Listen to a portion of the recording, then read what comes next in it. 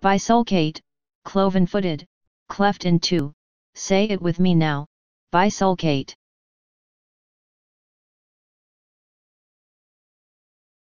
Please subscribe and thanks for watching.